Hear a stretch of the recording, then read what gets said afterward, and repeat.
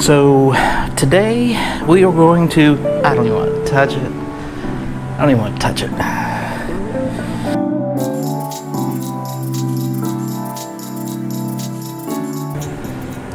Hi everyone. Thank you for coming back so much for another edition of Food Fears Unleashed with Greg. So um, that's what this show's about. This is this can be our number one here. Um, I'm really, really leery about this one for a few reasons. At first, it sounded pretty cool. now, I'm not so sure. So, today we are going to. I don't even want to touch it. I don't even want to touch it. Here we go. Today, it's slimy.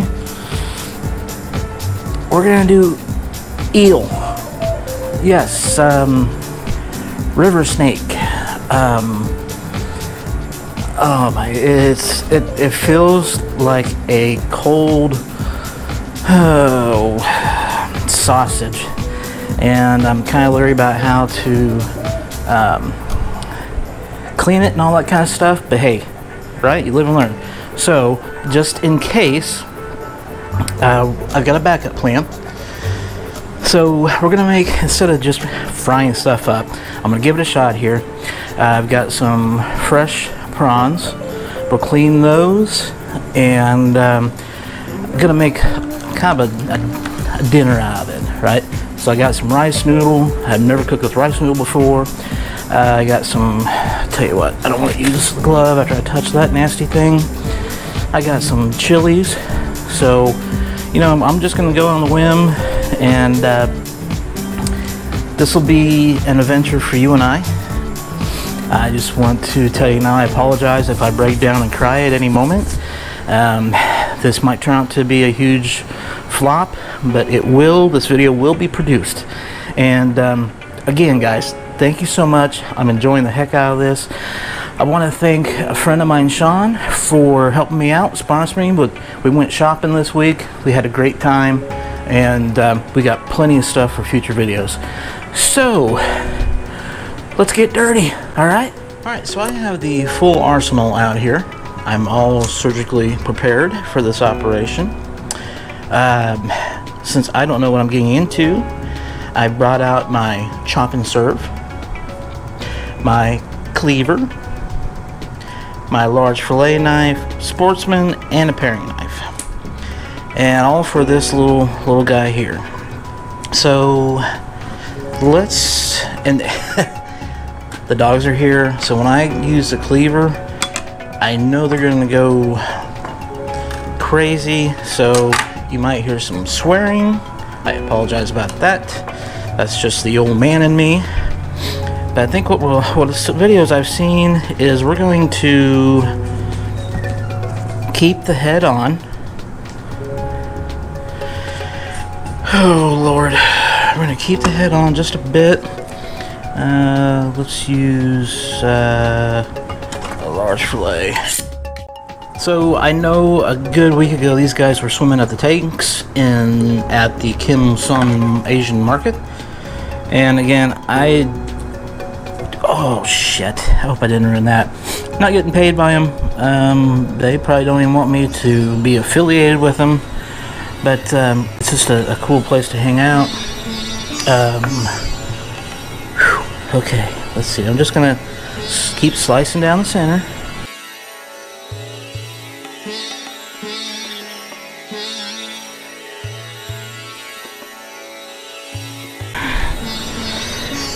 Okay, alrighty then.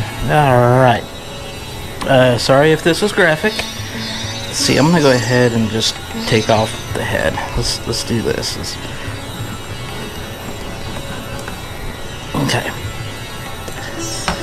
Cleaver, here we go. You ready? Oh shit, missed. There we go. That's a good clean cut. All right. Now I've seen where they keep the head for flavor in their soup. Not doing that. I'm also gonna take off the tail. There we go.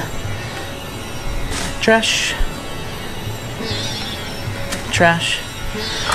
All right, now let's uh, let's take them over the sink and clean them up. Um, see what kind of surprises he holds inside. I'm gonna take a break, get this area cleaned up, and uh, we'll go to the sink for prep. Okay, so here we go. Let's find out uh, what's in this guy, what all we need to do.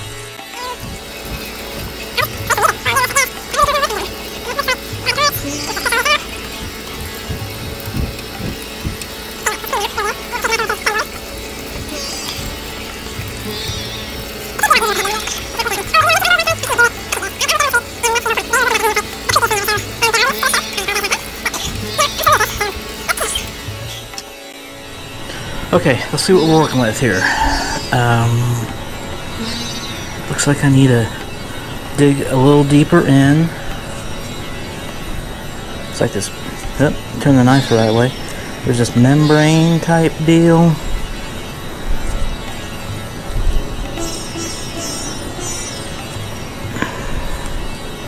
Ah, look at that heart. That actually looks like a heart. Kind of reminds me as a kid when uh, the grandparents they had a feed store and they raised their own chickens and everything and and I tell people stories about it how we butchered them in the back well not me I was young but still quite kind of dramatic. I mean you got a chicken with head cut off run down run around the backyard and then uh, that night, he's sitting on your plate. Let's put it this way, when I was out on my own, I didn't eat chicken for a long time.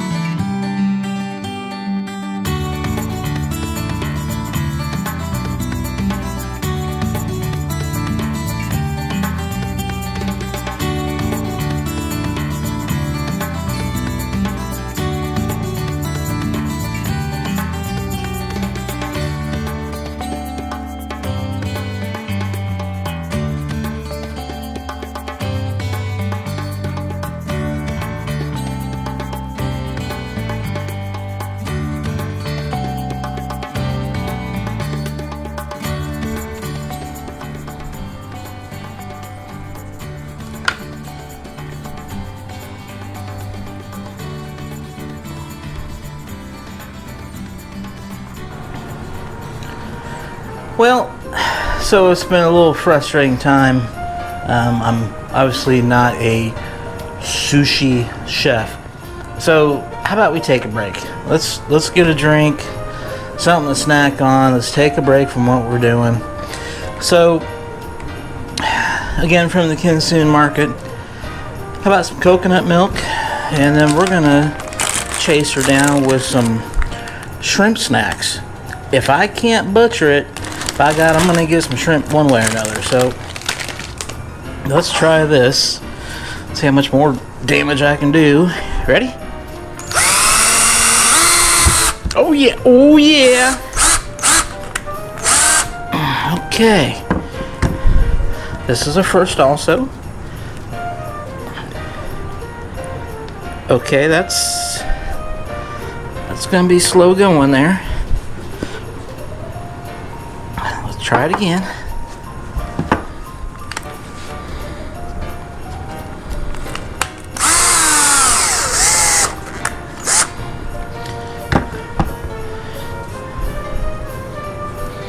Ah, smells like coconut. Which, yeah, obviously it would. Okay.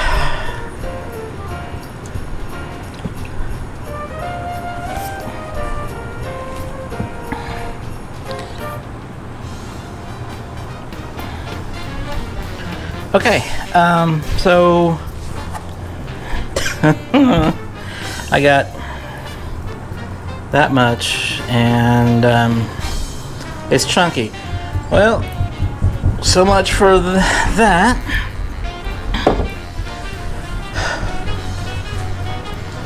Let's have a shrimp snack. Give us some protein.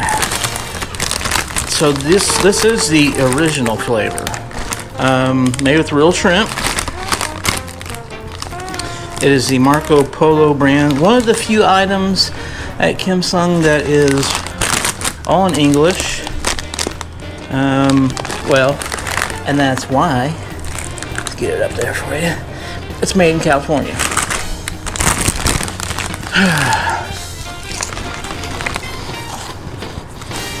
so these are more or less a cheese puff. Can't go wrong with cheese puff. But they're good. Shrimp.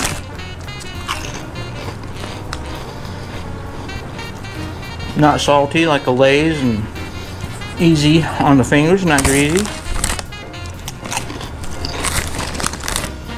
Can't wait for you to watch Monday's video at the shop. Check this out.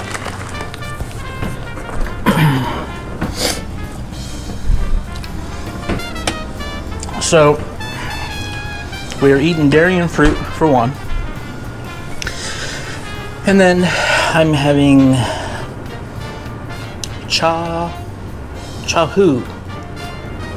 Um, it looks like a pickle, but inside the ingredients are pork, salt, sugar, fish sauce, which I've never heard anything good about, and banana leaves. I don't know if you're supposed to warm it up, um, which I probably will. Buck 99. And then we're gonna chase it down with this right here. This is grass jelly drink. Um, only the best. They're, they've, they did us a favor and gave us some English on it too. It looks amazing. It doesn't look much like a drink, but uh, we'll choke her down. So tomorrow at the shop we're doing these two and the uh, durian fruit. So the colon is up for a surprise.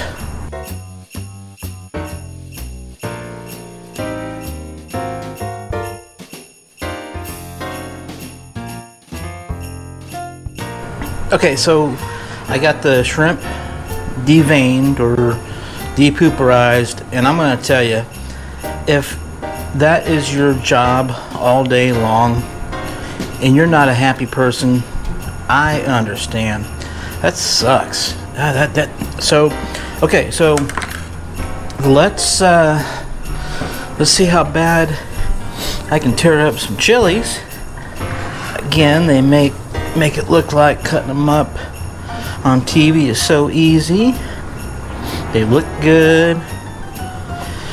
And, you know, they just take their fingers like this and they chop them up.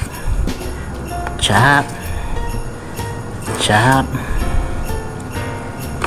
Chop.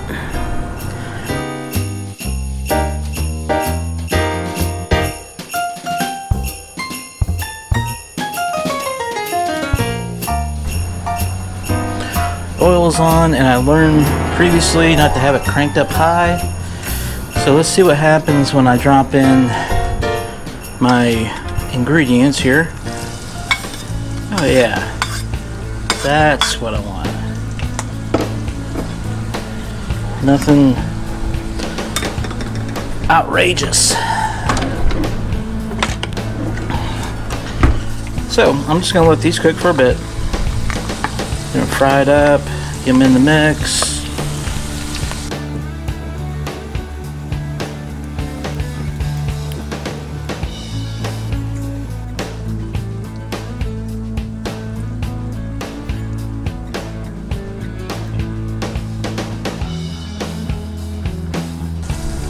You know what?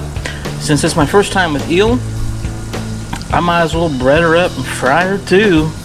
Um, maybe that way I'll be anxious for the next time we have eel, if there's a next time. So I'm just gonna dab it in the egg. Hmm. And like I said, it's been sitting in some um, oh meat marinade, and we might even double dip these guys.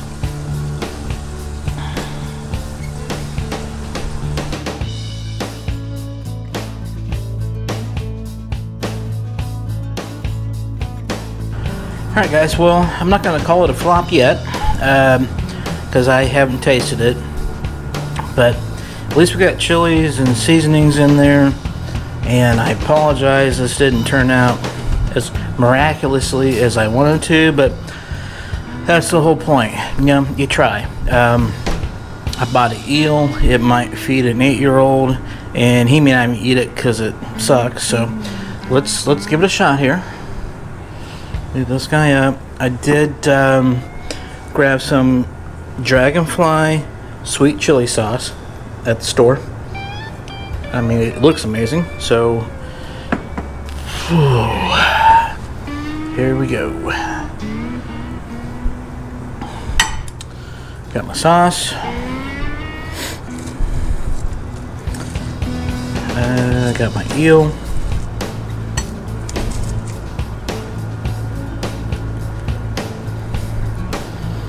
Ready? Food Fears Unleashed. Why am I doing this?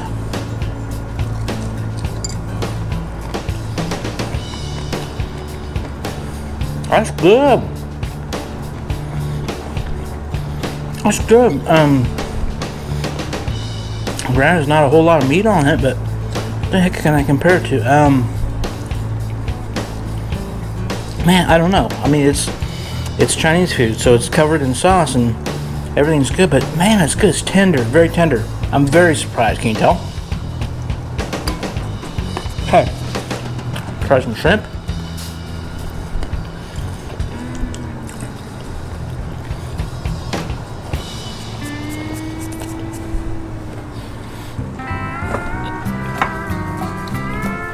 So, moral of the story is don't count yourself out.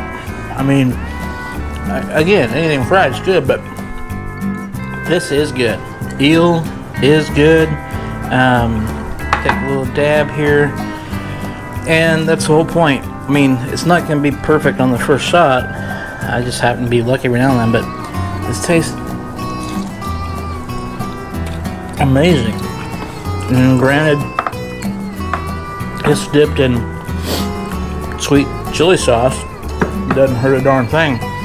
So, shrimp. I haven't tasted any pooper shooters yet. All I gotta do is try.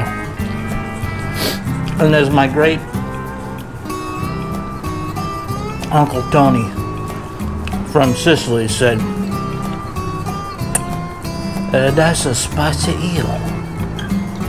Or maybe it's meatball. I don't even have an Uncle Tony. I'll see you next week.